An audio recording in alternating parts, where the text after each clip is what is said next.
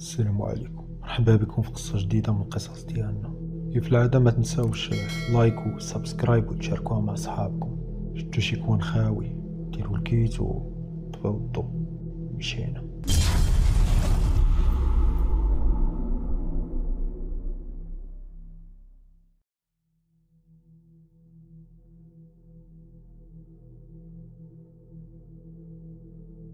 أول حاجة بغيت نشير لواحد النقطة. الأول وآخر مرة غندوي فيها واللي عندها علاقة بالقصة اللي فاتت.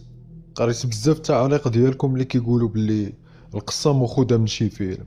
وملي دخلت وقلبت لقيت فعلا باللي القصة مطابقة لذاك الفيلم. فباش ما يتكرروش مرة آخرى هاد البلانات كنتمنى من أي واحد هاد المرة يصيفط ليا شي قصة. يشاركها معنا أول حاجة بمصداقية يعني يذكر ليا المصدر ديالها. واش طرات ليه هو؟ أو لا طرات لشي واحد كيعرفو أو لا جايبة غير من راسو أو لا واخدة من شي فيلم ولا شي حاجة. باش هكا نعرف واش غادي نروي القصة ولا لا. وحتى إلا كانت مؤلفة نقولها للمتابعين. وبالنسبة للناس اللي مصيفطين لي القصص القصار في إنستغرام كنقول لكم غير كونوا هانيين حيت غنجمعهم في فيديو واحد. أنا دابا كنبدأ بالقصص الطوال عاد من بعد كنتبعهم بالقصار. المهم بلا ما نطول عليكم خليونا نبدأو فيديو اليوم. الله خلقنا. وعطانا حرية الاختيار. كل واحد كيختار طريقه في الدنيا وحتى شي واحد ما مجبر على شي طريق. ممكن تمشي في الطريق اللي تخليك تعيش الجنة فوق الأرض وممكن تمشي في طريق اللي تدمرك وتخليك أسفل سافلين. قصتي بدات في صيف 2016 منين يلا دوزت الجهاوي ديالي وقررت أنني نهبط عند خالي الأكادير بحكم أنني ولد مدينة تسلا. ولكن قبل خليوني نعاود لكم شوية على شخصيتي ولا على طفولتي. اللي ما كانوش كيعرفوه بزاف الناس. الوالدة ديالي كتمثل واحد النسبة من هذا المجتمع. نسبة العيالات اللي كيآمنوا بالزيارات وبالسادات وباللي إلا زارت ولا مشات لشي بلاصة معينة اولا شي والي غادي تحقق لها ديك الرغبة اللي عندها في راسها. وكنعقل فيما كانت كتمشي كتجرني معاها. حيت الوالد ديالي كان خدام وما كتقدرش تخليني بوحدي. أنا كنت كنرتاح في دوك البلايص لدرجة أنني كنعس. شفت بزاف الحوايج تماك. شي حوايج عمرني غنساهم كل واحد وشنو كيدير. كل واحد كيتصرف بطريقته كاين اللي كتشوفو كتحس بالسلام وكاين اللي كتشوفو كتعرف باللي بنادم مريض وخاصو يداوى كنشوف ناس كيذبحو كنشوف ناس كيحضروا كنشوف ناس كيتحيروا المهم كانوا أجواء في شكل وما غيفهموني غير الناس اللي مشاو لدوك البلايص. أنا هنا ماشي كنحكم ولا كنقول باللي دوك الناس خايبين. كل واحد عارف النية ديالو وكل واحد كيف ما قلت في الأول كيختار طريقه كان الوالد ديما كيسول الوالدة فين كتمشي وكتغبر خصوصا ملي كيعيط لها وما كيلقاهاش في الدار. كتقول ليه بلي كتمشي عند صحاباتها تونس معاهم بحكم أنها كانت خياطة. كتقول ليه بلي كتقنط بوحدها في الدار داكشي علاش كتمشي عند صحاباتها. كان كيثيق فيها وما كيقول لها حتى شي حاجة. وحتى أنا ديما كانت كتوصيني باش ما نعاود والو قدامه. دابا اللي سمعني كنقول هادشي غيقول بلي الوالدة ديالك كانت سحارة ولكن أنا شاهد على كل حاجة كانت كديرها. الوالده ما عمرها ما فكرات ضر شي واحد. بالعكس كانت مرا اللي متدينه وكتصلي صلاتها في وقتها. ديما هزات التسبيح وكتسبح. المهم واحد المرة كنت مرضت بزاف. ما كانش الوالد معنا في الدار. عيطات له قال لها ما نقدرش نجي دابا من الخدمة. خصوصا أنه كان في مدينة أخرى قال لها غير تصرفي ولا شوفي شنو ديري. خدي الفلوس وديه للطبيب. أنا ديك الساعة كنت كنهترف بالسخانة. ولاو كيبانوا ليا بحال شي دراري صغار معايا في البيت. كانوا كيلعبوا وكيجريو على بعضياتهم وكيدوزو من حدايا. حتى منين شفتهم هما الوالدة ديالي مبقاتش كتبان ليا. بحال دخلت في شي حلمة ولا شي حاجة بحال هكا. كنسمع غير صوتها كتقرأ عليا القرآن وكتقول لي ها ولدي نوض راك خلعتيني عليك. المهم داتني الوالدة للطبيب. عطاني الدواء ولكن واخا شربته ما قضا فيا والو.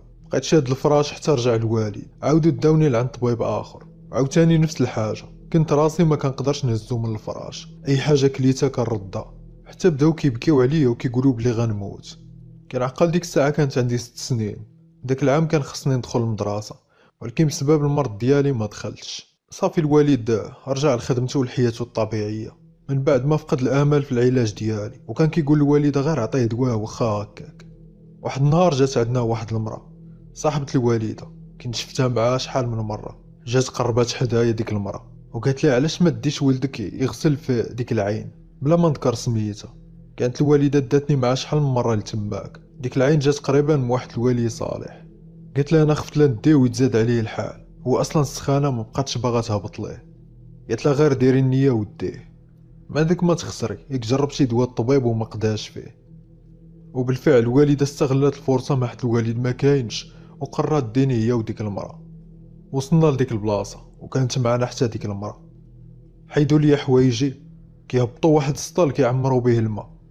وبدات كتخوي عليا الوالدة. والمكان بارد بزاف لواحد الدرجة ما تصورش. بحال إلا فيه الثلج. بديت كلي كنترعد وكنقفز. شوية ما بقيت كنحس لا برد لا والو. حيت شفت واحد المرأة كانت مقابلة معايا. وكانت كتشبه الجدة بزاف. لابسة تقريبا كلشي بيض بحال دوك النساء اللي كانوا كيلبسوا شحال هادي. كانت كتضحك معايا و كتشوف فيا واحد الشوفات حنان صافي في ديك اللحظة غيبت. ملي فقت لقيت راسي لابس حوايجي والوالدة عند راسي. عنقاتني وقالت لي والله إلا السخانة هبطات لك. وليت كنحس براسي خفيف وتحلات ليا الشهية. بحال كنت هاز شي حاجة ثقيلة فوق كتافي وحيدتها. ديك المرأة قالت لها شفتي شنو قلت لك؟ هو ولدك ولا بخير رجعنا في حالتنا للدار. الوالد فرح ملي وليت بخير قال لها شفتي؟ راني قلت لك تبعي له غدوه وغيولي بخير أنا كنت باغي نقول ليه فين مشينا ولكن هي ديما كانت كتقول لي ما تقول ليه والو. حيت عارفة الوالد ما عندوش مع هادشي وغادي يتعصب. داك العام ما قبلوش يدخلوني المدرسة حيت كنت تعطلت بشي 3 شهور تقريبا. ولات الوالدة كترخف عليا وكتخليني نخرج الزنقة. واحد الحاجة اللي كنت لاحظتها في صغري هو أنني فيما كنخرج كنلقى الفلوس. ضروري أي نهار نخرج فيه كنلقى الفلوس. لدرجة كنكون غادي مع والديا حتى كيبانوا ليا من البعيد وكنمشي نهزهم الوالده في الأول كانت شاكة وكتقول لي منين كيجيوك الفلوس؟ ولكن من بعد مني شافت داكشي بعينيها ما قدراتش تنكر ولا تقول والو. كنحس باللي كاينين الفلوس في شي بلاصة قبل حتى ما نوصل ليها. اللي سمع الفلوس ماشي فلوس كتيرة ولكن بالنسبة لولد صغير في السن ديالي هذيك راه كانت فلوس كتيرة. وخا في داك السن الصغير كنت ولد اللي مسؤول وواعي. كتحس بيا راجل كبير في جسم ولد صغير لدرجة أن الوالدة ديالي كتشاور معايا في أي حاجة باغا ديرها. وبعض المرات كنت كنجاوبها شي أجوبة أنا براسي كنتصدم منها. كانت شحال من مرة كتشد فيا وتبقى تضحك معايا وكتقول لي أنا عارفك ماشي ولد صغير غير قر وقول لي شحال عندك من عام. باك وما كيعرفش يهضر بحالك. حتى منين دخلت المدرسة شخصيتي كانت مختلفة بزاف على الدراري اللي في السن ديالي. كانوا كيجيوني دراري صغار براهش. واخا ما كنحملش هذا المصطلح ديال براهش ولكن هذه هي الكلمة اللي نقدر نوصف بها باش كنت كنحس. وحتى هما كنت كنجيهم ممل لدرجة ما كيقربوش ليا. كنت كنشوفهم كيجريو وكيلعبوا في الساحة. وأنا كنت غير مريح وكنتفرج عليهم. كنت كنحس براسي بحال شابع لعب وما باغيش مازال نزيد اللعب. دوك الأحلام والرؤى اللي كنت كنشوفهم في صغري كانوا كيتزادوا كل ما كبرت. ولكن كنت كنحاول ما نفسرهمش. كنت حاس بلي داكشي اللي كنشوف زوين. نقدر نقول لكم في سنين كاملة الصاحب الوحيد اللي كان عندي هو ولد خالي. ما عرفتش علاش كان عزيز عليا. ولكن كان كيعجبني ديما الحال وأنا معاه. واخا مختلف عليا. بقينا صحاب هكاك. حتى كملنا بجوج بينا 13 عام منين قرر خالي أنه يتحول من المدينة اللي حنا فيها ويمشي لأكادير. شحال بقى فيا الحال؟ خالي كان كيصبرني وكيقول لي صافي منين يوصل الصيف؟ بقى تجي لعندنا. حتى واحد فينا ملتزم بداكشي اللي قال. ما بقاوش هما كيجيو لعندنا ولا حنا كنمشيو لعندهم. بيناتنا تليفون وصافي. كملت حياتي عادي في نفس الروتين. كنمشي للقراية وكنجي نسد عليا البيت. أولا كنطلع السطح ونبقى نشوف في السما. كان كيعجبني نبقى نتأمل في الطبيعة. وكنت مربي بزاف الفراخ عندي في السطح. وصل صيف 2016 فين قلت لكم بغيت تبدأ القصة ديالي مع العالم الآخر. واحد النهار خالي كان صونا للوالدة. بقاو داويين شوية ويقول لها قولي لعبد الإله يجي عندنا في هذا الصيف. راه حتى يوسف قنطان في الدار وما عندوش صحاب هنا بزاف. صافي الوالدة قطعت معاه وقالتها لي وأنا فرحت بزاف. عطاوني الفلوس باش نمشي. جمعت حويجاتي وتحركت. كان كيحسب لي غنتلاقى نفس يوسف اللي تفارقت معاه هادي خمس سنين. مشيت. وصلت وتلقى لي خالي. كنت كنتسنى يوسف هو اللي غيتلقى لي. قال لي راه عكز يجي. المهم مشينا للدار. تلاقيت بيه سلم عليا بواحد البرودة في شكال. عرفت بلي ديك الصحبة اللي كانت بيناتنا صافي مشات. ولكن قلت أنا جاي هنا باش ندوز الصيف ديالي ونستمتع. كنت كنتسنى منه أنه يخرجني ويساريني في المدينة. حيت كانت هذيك أول مرة غنمشي ليها ولكن كان ديما كيخرج وكيدير السباب شي حاجة. وكيرجع معطل في الليل. كان هو ديك الساعة يلاه نجح في الباك وبدا كيدفع للمدارس. وكانت هذيك هي السبة اللي كيلقى ليا. ولكن كنت شاك بلي شي حاجة ماشي هي هذيك كطرالو خصوصا أنه تبدل ولا كيبان ليا ديما عنده الفلوس. وخا خالي عارف بلي على قد الحال. كان واحد الخاتم ديما دايرو في صبعو. اللي كنقول ليه عطاني غير نشوفو. كيقول لي لا ممنوع عليا نحيدو. أنا عاوتاني كانت فيا واحد القاعدة في شكل. إلا بانت ليا شي حاجة عند شي واحد وعجباتني خاصني ضروري نشدها بين يدي ونقيسها بحال مثلا داك الخاتم ضرني راسي علاش ما بغاش يعطيني نشوفو. خالي بدا كيرغبو باش يخرجني. كيقول لي حشومه عليك ولد عمتك جاي لعندك باش تساريه. وانت كتخليه بوحدو في الدار وكتخرج. المهم شد معايا الخاطر وخرجني واحد النهار. وفي الطريق قال لي اسمعني. بغيت نقول لك بلي داك يوسف اللي كنتي كتعرف شحال هادي راه ما بقاش. هذا اللي قدامك هو واحد آخر. صراحة بقى فيا الحال خصوصا كيف ما قلت لكم أنه هو الصاحب الوحيد اللي كان عندي. غتوصل بيه الدرجة ديال أنه يقول لي ما بقاش نبات معاه في البيت. قال لي سير نعس في الصالون حيت أنا كنبغي نهضر مع البنت اللي أنا معاها وما بغيتش نهضر قدامك. احترمت رأيه ولكن هذيك كانت غير سبة وكذبة. واحد المرة ضربتني الفيقة في الليل. كنت دايز من حدا البيت ديال يوسف. وهو يبان ليا شاعل واحد الضو خفيف وكيبان بلي داك الضو ديال الشمعة.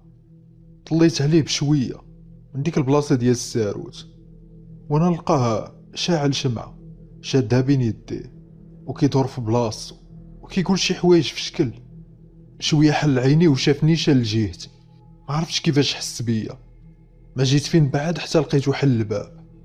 شدني وقال لي اش كدير هنا؟ علاش كتطلع عليا قلت ليه لا راه غير كنت دايز للطواليت وسمعتك كتهضر. اشنو كنتي كدير؟ قال لي تعلم تدخل سوق راسك وآخر مرة تجسس عليا هكا. دابا سير حيد من هنا قبل ما يسمعنا الوالد. رجعت لبلاصتي وكان قلبي مزير عليا بزاف. كنت متكي في الصالون ومع حليت عيني كتبان ليا واحد المرا مرا لابسة كلشي كحل وشعرها مخربق. جالسة في الحافل اللي مقابل معايا. شعلت الفلاش ديال التليفون وضربت لديك الجهة. ما لقيت والو. بقيت كنقول أعوذ بالله من الشيطان الراجي ديك الوقيتة أدى الفجر وصافي طار ليا النعاس مرة. شفت خالي ناضي يصلي ونط حتى أنا معاه نصلي. قال لي يوسف كان عيا معاه باش يفيق وما كيبغيش. المهم صلينا وملي سالينا قال لي بغيت ندوي معاك. قلت لي دوي خالي أنا كنسمعك. قال لي واش يوسف عاود لك شي حاجة؟ قلت ليه بحالاش قال لي زعما علاش تبدل في هاد الأيام الأخرى؟ هادي تقريبا عام باش ولدي تبدل عليا بزاف وما بقيتش كنعرفو. كيجيب شي حوايج وشي فلوس كنلقاهم عنده وكيقول لي بلي خداهم معاه مع عند صحابو. ولكن أنا عارف ولدي ما عندوش صحاب. داكشي علاش دخل ليا الشك. وبغيتك تعاونو.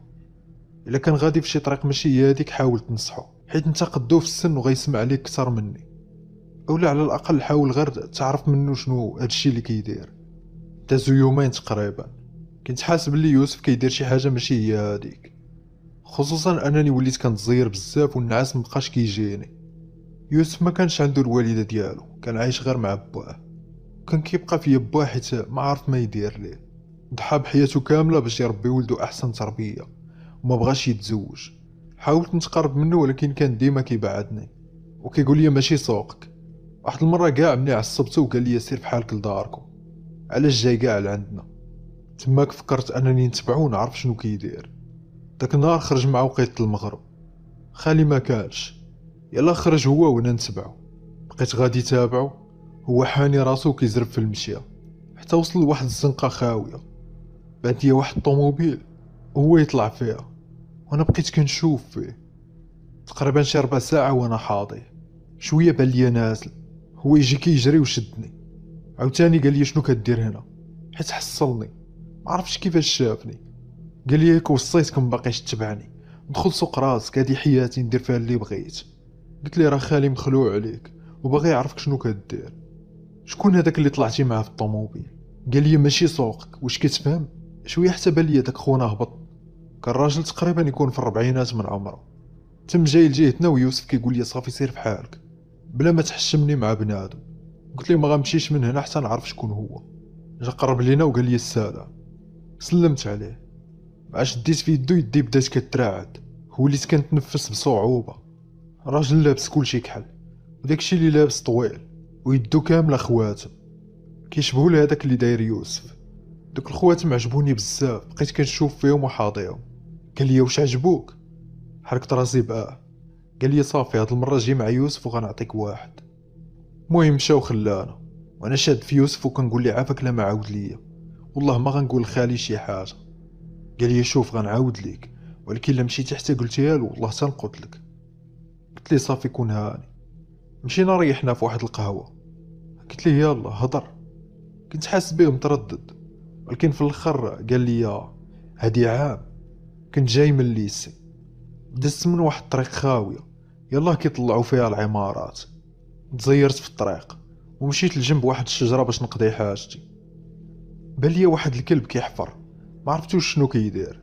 ملي ساليت مشيت لديك الجهة وأنا نلقى واحد الكتاب. كتاب اللي كيبان غريب. وغير شفتو جات عيني عليه شي حاجة شداتني ليه عجبني بزاف داك الكتاب. حيد داك التراب اللي كان عليه وهزيتو مع كندور وجهي كيبان ليا واحد الراجل كيخلع. كيطلع ليا. ومع كان بدا كيطيح الظلام ما كانش كيبان ليا مزيان. شديتها بجرية وحدة حتى للدار. غير دخلت معايا داك الكتاب للدار وما يبداو المشاكل. أول حاجة غريبة لاحظتها هو أنني فيما كنهز داك الكتاب ونبغي نقرا شنو فيه. كيشدني النعاس بزاف لدرجة كنطيح فوق منه. ما كنعقلش على راسي حتى كنفيق وليت كنحلم باللي عندي شي حوايج خايبين في البيت. ديما كنسمع شي أصوات في الليل وكندير براسي ما سمعت والو. في الأول كاع ما كنت عارف بلي السبب هو داك الكتاب وكنت باقي مصر على أنني نقراه شي مرة. حتى لداك النهار فين ما غيكونش الوالد. وغنقرر أنني نجبدو ونقراه.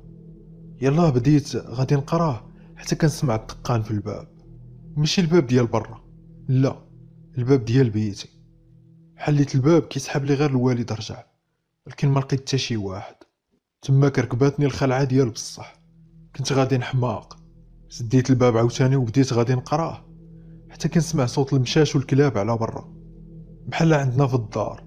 وفي الكوزينة كانوا الماعن كيتقرقبوا. الضوء اللي عندي في البيت ولا كيطفى وكيشعل. كل شوية كيجيب لي الله بحال شي حاجة تحركات حدايا. تأكدت بلي داك الكتاب ماشي عادي. ويقدروا يكونوا عنده شي خدام اللي قويين داكشي علاش درت من ناقص وقررت أنني نخبيه وما نقراهش. دازت شهر تقريبا والكتاب عندي. وفي داك الشهر الوالد ولا ديما كيغوت ولا معصب على أبسط الحوايج. وكيقول لي غادي نخرجك من القراية باش دوز تخدم. وخا هو ما عمرو ما فكر هكاك واحد النهار وأنا خارج كنت مريح مع الدراري حتى بان واحد الراجل كيشوف فيا من البعيد. وهو نفس الراجل اللي تلاقيتي به اليوم. شي حاجة قالت لي نمشي لعندو. الدراري تحركوا في حالهم وأنا بقيت واقف حتى مشاو مشيت لعندو. كان لابس دوك الخواتم وحتى أنا عجبوني بحال اللي عجبوك. بقيت كنشوف فيه.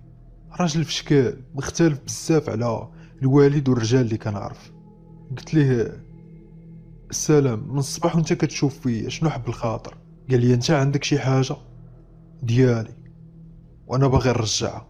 قلت ليه اش من حاجة هادي؟ أنا أصلا ما عمرني ما شفتك. اش بيني وبينك أخويا؟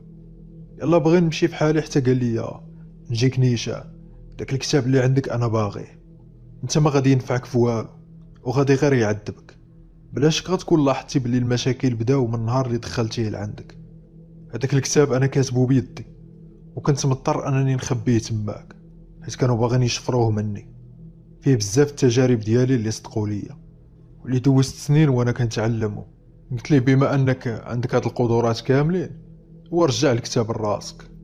بقى كيضحك وقال لي اليوم غتأكد باللي داك الكتاب خاصو يرجع ليا. ديك الليلة بالضبط حلمت بواحد الراجل طويل كانت سيفتو بحال ديال المش. شفتو هو هاز داك الكتاب بين يديه. هاز داك الكتاب وحطو بين يديا. وفي ديك اللحظة يديا كيبانو ليا كيتحرقوا ما بقيتش قادر نهز داك الكتاب ولحتو في الأرض. باغا نهز راسي لقيت داك الراجل عند وجهي. غت ليه هزيت معايا الكتاب وديتو لليسي. بحال كنت عارف داك الراجل غيجي لعندي. وبالفعل ملي خرجت مع الستة لقيتو في نفس البلاصة. عطيتو الكتاب. في ديك اللحظة عاد وعيت براسي شنو درت. بقيت كنقول ليه كيفاش درتي له علمني حتى أنا بغيت نعرف هذا الشيء. أنا بلا هواية جبت لك الكتاب. قال لي هادشي صعيب عليك. ماشي أي واحد كيدخل له. بقيت لاصقه وما بغيتش نبعد عليه. وكنقول لي عافاك لا معلمني وصافي من تماك بدات قصتي معاه. وبلا ما نحس وليت حتى أنا كندير نفس الطقوس اللي كيدير هو. وأي حاجة قالها لي بالحرف كنطبقها. وهنا دابا بخير وعندي الفلوس وعندي الحوايج. وأي حاجة بغيتها كطرا. دابا واش صافي تهنيتي. راه قلت لك هادشي ما غيضرني ما والو. قلت ليه وما سولتيش مع راسك واش هادشي اللي كدير فيه حلال ولا حرام ولا صحيح ولا غلط. وخالي عرف هادشي واش غيرضى عليك. قال لي اش كتخربق؟ هادشي ما عندوش علاقة بالحلال والحرام. كنتعامل مع الجن بحال اللي كنتعامل مع بنادم. يعني حاجة عادية. قلت ليه هاد المرة غنمشي معاك. قال لي واش انت حمق ولا شنو؟ قلت ليه الراجل وصاك باش تجيبني معاك. قال لي ولكن إلا شديتي الطريق ومشيتي لمدينتك. ما عنده ما يقول. دازت تقريبا ثلاث أيام.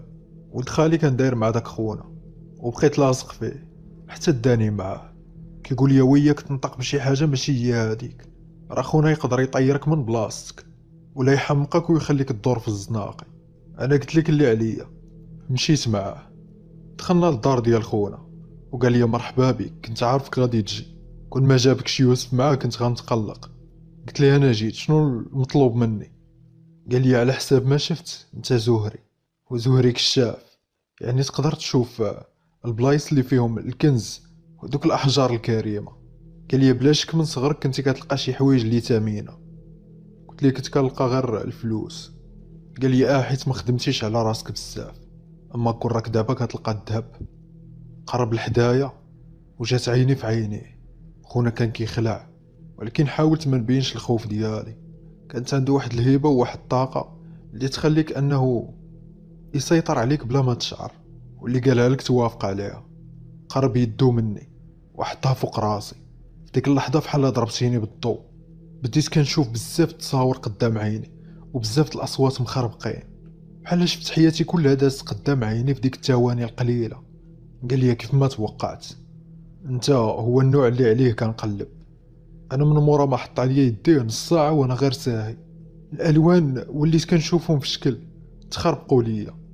وحتى الأصوات ديالهم وليت كنسمعهم بعاد. بحال كنت محبوس في شي بلاصة بعيدة عليهم. حيد واحد الخاتم وعطاه ليا في يدي. وقال لي قبل هاد الهدية مني. حيت جيتي لعندي اليوم. ولكن خليه ديما في يديك. بقينا جالسين وهو يهضر وقال لي دابا أنت عندك واحد النوع ديال الجن اللي مولع بالأحجار الكريمة. كاين جاذب ليهم بزاف. ويقدر يعرف البلايص فين كاينين. وإلا عرفتي تفاوض وتتعامل معاه غادي تولي من الأغنياء. وأنا غنعاونك في هذا الشيء وهكا بجوج بينا غنربحو. حسيت بيوسف تزير وما عجبوش الحال. بحال إلا ديت له بلاصتو. عطاني واحد الورد معين وواحد البخور خاصني نتبعو. وقال لي بلي خصني نبقى ديما نقي. حيت الرفقة اللي معايا كيبغيو النقا وداكشي اللي كان. يوسف عطاني بيتو. وليت كندير داكشي اللي قال لي الفقيه. أولا داك الراجل. وداك الخاتم قال لي ما نحيدوش من صبعي حيت غيمنع أي تداخلات من شي جوايه اخرين اللي يشوشوا عليا. حيت كاينين شي عوارض اللي ما يبغيونيش نوصل لداك الشيء وبالفعل من بعد 21 يوم بديت كنشوف شي حوايج. بحال شي رؤى كيجيوني في بالي. وكنشوف بهم شي بلايص اللي ما عمرني ما شفتهم. ومنين كنعطيهم النعت كيقولوا لي بلي بصح ديك البلاصة كاينة في أكادير. واخا ما عمرني ما شفتها. ومنين كنمشيو لتما كنلقاو شي حاجة. سوا شي أحجار كريمة اولا لويز ولا ذهب. تقريبا شي ربعة المرات اللي كننعت ليهم البلايص وكيصدقوا بصح. يوسف ولا غير لاصق فيا. من بعد ما كان ما حاملنيش. خالي لاحظ بلي ولينا قراب. وقلت ليه كون هاني راني راد ليه البال. داك خونا كان كيستغلنا. كياخد اللي بغا وكيعطينا اللي بغا. ومن بعد غنعرفو بلي كان داير لنا في دوك الخواتم شي حاجة اللي تخلينا نطيعوه. صافي من موراها العطلة سالات وقلت لهم بلي أنا غادي نرجع في حالي صافي. هو ما عجبوش الحال. وقال لي اش بغيتي بشي قراية؟ أنت راه غتولي لاباس عليك ما عندك ما دير بشي قراية. أصلا مازال بزاف البلايص خصنا نكتشفوهم ونقدروا كاع نخرجوا برا المغرب. راه تماك غيكونوا شي حوايج اللي كتار من هنا. بدا كيحرش عليا يوسف باش يقنعني. ويوسف قال لي صافي بقى معنا هنايا وقرا الباك هنا. عندك ما تمشي دير في داركم. قلت ليه لا توحشت والديا وخصني نمشي نشوفهم داك خونا بدا كيرطب معايا وقال لي صافي حنا نمشيو معاك حتى لتما. ولكن منين نقول لك خصنا نمشيو لشي بلاصة غتمشي معايا بلا ما تقول لا. واحد المرة وقبل ما نرجع للدار حلمت بديك المراه المراه اللي كنت شفتها في صغري. جات لعندي وقفات عليا وشدات لي يدي وحيدات لي داك الخاتم اللي كنت داير. وفاش حيداتو بان ليا بحال الدخان كحل طالع مني. وهي تقول لي أرجع لداركم وبعد على هاد الطريق صافي تماك ضرباتني الفيقه وكنت مخلوع صراحة خصوصا ملي لقيت الخاتم طايح من صبعي يوسف حتى هو ضرباتو الفيقه وقال لي مالك صاحبي؟ اش عندك؟ قلت ليه يوسف النصيحه اللي غنعطيك هو بعد على داك الراجل. راه غير كيستغلنا. أنا غنرجع في حالي وما بقيتش باغي نتعامل معاه. إلا كان شي رزق مكتبو لي الله راه غيجيني. ما نحتاجش نوض نحفر ونقلب عليه. ما تعرف شي مرة نطيحو في شي كنز عندهم مواليه ملشن ويصدقوا معوجيننا ولا دايرين شي مصيبة. قال لي لا صاحبي ما تخافش راه داك خونا اللي معانا متمكن. انت راك شفتي وعارفو كيفاش داير. انت جيتي دابا غير في هاد الصيف وشو شحال الفلوس غادي معاك؟ قلت ليه صافي. لا هي لا. أصلا منين حيدت هاد الخاتم عاد حسيت براسي اش كنت كندير. داكشي علاش كنصحك حتى انت تحيدو. راه خونا داير شي حاجة في الخواتم. من شفت يوسف مصر وما باغيش يبعد على داك الراجل؟ سلمت على خالي ورجعت في حالاتي بلا ما يساق ليا يوسف الخبار. ما بقيتش كنجاوبو ملي كيصوني عليا. وصافي بدات القراية ونسيت الموضوع. واحد النهار وأنا خارج من الليست حتى كنتصدم لقيت الطوموبيل ديال داك خونا قدام الباب. وملي شافني نزل منها وقال لي صحابك ما غلقاكش قلت لي ما كاينة حتى شي حاجة بزز. أنا ما باغيش. طمعني وقال لي شوف نعطيك اللي بغيتي. نشري لك طوموبيل نكتب لك الدار ديالي. المهم غير خدم معايا. أي واحد في بلاصتي كان غيوافق بلا ما يفكر. وأنا براسي كنت غندير نفس الحاجة. ولكن كنت كنحس بلي ماشي أنا اللي كنتحكم. ديك لا كانت كتخرج بلا ما نشعر. وشوية عاوتاني بلا ما نحس شديت له في يدو. ديك اليد اللي فيها الخواتم. وهاد المرة ماشي أنا اللي ترعدت ولكن هو. بحال إلا ضربو الضوء وبعد عليا. ركب في طوموبيلتو وزاد وكانت هذيك آخر مرة غنشوفو فيها. دازت تقريبا 3 شهور. فهاد 3 شهور كاملة ما كنتش كنهضر مع يوسف. واحد النهار صونا خالي الوالدة وقال لها بلي راه مريض بزاف وبلي ولا ديما كيغوت ليه في الليل. وأنا عرفت بلي السبب هو داك الخاتم اولا داك الراجل دار له شي حاجة. قلت ليه خالي واش مازال داير داك الخاتم في يديه؟ قال لي آه. قلت ليه وا جري وحيدو ليه. ولكن قبل خاصك دير شي حاجة باش تحمي راسك. جيب شي واحد اللي يكون فاهم في هذا الشيء ومتمكن. حيت يقدروا يأذيوك حتى أنت. خالي تصدم وحتى والديا تصدموا من داكشي اللي قلت. الوالده كتقول لي فوقاش عرفتي انت هادشي؟ من إمتى ولا عندك مع هادشي؟ صافي أنا ما لقيت ما نقول وعاودت ليهم كلشي. خصوصا انني ما كنتش كنكذب ولا كنخبي عليهم. اخذ لي صونان لخالي وقال لي والله إلا ولدي عندك الصح. الولد كان بحال مرفوع. غير حيدنا ليه داك الخاتم ولا بخير ما بقى عاقل على والو تقول كان فاقد الذاكرة. ما عقلش عليك حتى واش جيتي عندنا في الصيف. دازت واحد المده صافي كنت عايش حياتي عادي. واحد المرة صونا ليا يوسف وبدا كيبكي وكيقول لي غير سمح ليا. سمح لي على داكشي اللي درت. انت راك عتقتيني يا صاحبي. قلت ليه واش مازال كتلاقى بداك خونا؟ قال لي لا. من نهار اللي مشيت يحلف وقال لي بلي غينتقم مني. من تماك ما عاودش شفتو. يمكن كاع هو السبب في الحالة اللي كنت فيها. قلت لي آه راه قلت لك كان داير لنا شي حاجة في الخاتم. وأنا حلمت بهذا الشيء وعقت به.